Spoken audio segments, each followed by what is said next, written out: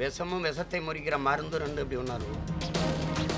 எப்படி ஒன்றா இருக்கும் சொல்லுங்கள் நிறைய கொள்கை மாறுபாடு இருக்குல்ல. இதற்காக திராவிடம் வேண்டும் இதற்காக தமிழ் தேசியம் வேண்டும். விளக்கம் யார் சொல்லுவா? தலைவரா? இல்லை கீழே இருக்கிற தம்பிகளா தங்கைகளா? யார் விளக்கம் சொல்லுவா? நீங்கள் நடிக்கிற படத்தில் பாருங்கள் வில்லனும் கதாநாயகனும் எப்படி ஒன்றா இருக்கும். வில்லனை வீழ்த்தத்தானே கதாநாயகன் தேவைப்படுது? கூட்டம் எல்லாருக்கும் வரும். சேலத்தில் நாற்பது விவசாயிகள் விவசாய போராட்டத்துக்கு இருக்கும்போது கடதறக்க வந்த நயன்தாராவுக்கு நாலு லட்சம் பேர். ஐயா விஜயகாந்துக்கு மதுரையில் கூடாத கூட்டம் கூடிருச்சா? தமிழக வெற்றிக் கழக மாநாட்டிற்கு முன்பு எனது அன்பு தம்பி விஜய் என ஆசையாசையாய் பேசிய சீமா இப்போது விஜயின் அரசியல் பிரவேசம் குறித்தும் அவரது கொள்கை கோட்பாடுகள் குறித்தும் கடும் விமர்சனங்களை முன்வைத்துள்ளார். அதான் திரும்பி திரும்பி சொல்கிறேனே தம்பிங்கிற உறவு வேற கொள்கையில் எதிரி வேற முரண் வேற. என்னை பெத்த தாய் தந்தையரே இருந்தாலும் எங்கள் கொள்கைக்கு எதிராக நின்றால் எதிரி எதிரி தான் எழுபத்தைந்து ஆண்டுகளாக தமிழகத்தில் மாறி மாறி ஆட்சியில் இருக்கும் திராவிடம் நல்ல உறுதியான வாரிசுடன் இருப்பதால் திராவிடத்தை வளர்க்க விஜய் எதற்கு எனவும் சீமான் கேள்வி எழுப்பியுள்ளார் எதுக்காக கட்சி ஆரம்பிச்சிருக்க? திராவிடத்தை வாழ வைக்கிறோம். திராவிடம்னு ஒன்றுன்னா நீ புதுசாக இதுக்கு தேவையில்லையே. அதான் திராவிடம் இருக்க ஸ்ட்ராங்காக இருக்கு. எழுபத்தஞ்சு ஆண்டுகளாக இருக்கு. நல்லா உறுதியாக இருக்கு. வாரிசோட இருக்கு. அடுத்த தலைமுறைக்கான தலைவரோட இருக்கு. அதுக்கு அடுத்த தலைமுறைக்கான தலைவரும் தயாராக இருக்காரு. அப்புறம் நீ இதுக்கு நடிகை நயன்தாரா கடை திறந்ததற்கு கூட நான்கு லட்சம் பேர் கூடினார்கள் என்றும் சினிமா நடிகனை பார்க்க வரும் கூட்டமும் கொள்கைக்காரர்களின் கூட்டமும் ஒன்றா எனவும் சீமான் கூறினார். கூட்டம் எல்லாருக்கும் வரும்.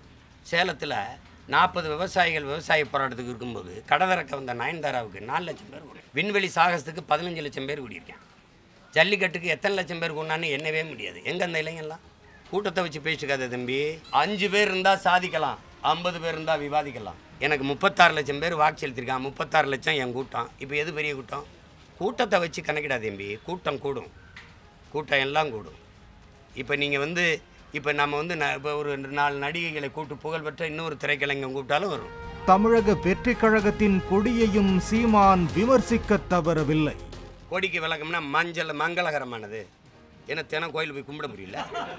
சிவப்பு புரட்சி என் சிவப்பு புரட்சி விவசாய பெருங்குடி மக்கள்லாம் பச்சை துண்டு விட்டு போராடுறது புரட்சி வராதோ?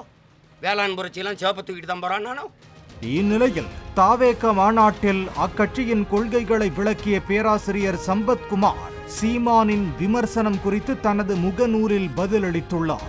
அதில் விஜயை விமர்சித்து சீமான் இதயத்திலிருந்து பேசவில்லை என்பதால் அவரது விமர்சனங்களை நாங்கள் மூளைக்குள் கொண்டு போகவில்லை என கூறியுள்ளார். மாநாட்டிற்கு முன்பு சீமான் பேசியதற்கும் மாநாட்டின் வெற்றிக்கு பின்பு சீமான் பேசியதற்கும் பெரிய வேறுபாடு உள்ளது எனவும் யாரை விமர்சனம் செய்ய வேண்டும் யாரை கடந்து போக வேண்டும் என்பதை விஜய் தங்களுக்கு உணர்த்தியுள்ளார் என்றும் தனது அறிக்கையில் சம்பத்குமார் குறிப்பிட்டுள்ளார். திராவிடம் தமிழ் தேசியம் என்ற இரு சித்தாந்தங்களுக்கும் இடையே சிக்கிக் கொள்ளாமல் இரண்டையும் கருத்தியலாக மட்டுமே கருதுவதாக விஜய் கூறியுள்ளதாகவும் ஆனால் அதை சீமான் புரிந்து கொள்ளாமல் விமர்சித்து வருவதாகவும் மூத்த பத்திரிகையாளர் ஐயநாதன் தெரிவித்துள்ளார். அதற்கு இதற்கு என்ன முரண்பாடு ஏற்படுகிறது? எப்படி இதுக்கு வந்துட்டு அது பகைமையாகும்? அல்லது இது ஹீரோனா அது எப்படி வில்லன் ஆகும் எனவே அவர் வந்துட்டு புரியாமலேயே ஒரு விடயத்தை பேசுகிறார். அவர் திராவிட அரசியலை வந்துட்டு எதிரியாக கருதலாம். அது வேற விஷயம். திராவிட அரசியல் திராவிட தந்தை பெரியாரின் பெயரை சொல்லி அண்ணாவினுடைய பெயரை சொல்லி அவர்கள் நடத்தக்கூடிய அந்த அரசு அப்படின்றது எப்படிப்பட்ட நிர்வாக சீர்கேட்டை ஏற்படுத்தியிருக்கிறது? ஊழல் சுயநலம் குடும்ப ஆட்சி இதையெல்லாம் பற்றி விஜயே பேசியிருக்கிறார். எனவே அதெல்லாம் பொருட்படுத்தாம நான் சொல்றது வேற நீ சொல்றது வேற. இது தப்பு அப்படிலாம் சொல்றது. அப்புறம் ரெண்டுத்தையும் ஒன்னா போட்டு குழப்பிக்கிறது என்றதெல்லாம் சொன்னது வந்துட்டு சீமான் சொன்னது வந்துட்டு அடிப்படை புரிதலற்ற ஒரு பேச்சு. ஆனால் விஜய் ஆற்றிய உரை அதில் இருந்த பொருள் மக்களுக்கு தெளிவாக புரியும். தனது வாக்கு வங்கியை இழந்து விடுவோமோ என்ற அச்சத்திலேயே சீமான் விஜயை கடுமையாக விமர்சிப்பதாகவும் தான் சொல்லித்தான் எடப்பாடி பழனிசாமி முதலமைச்சராக இருந்தபோது திட்டங்களை நிறைவேற்றியதாக பொதுக்கூட்டத்தில் சீமான் பேசியுள்ளது பச்சை பொய் என்கிறார். அதிமுக செய்தி தொடர்பாளர் கோவை சத்யன். இந்தியாவில் வேறு எந்த மாநிலத்திலும் வேளாண் பாதுகாப்பு மண்டலம் கிடையாது. இது வந்து முழுக்க முழுக்க எடப்பாடியார் சிந்தனையில் உதித்து அவர் முன்னெடுத்து செய்த செயல்.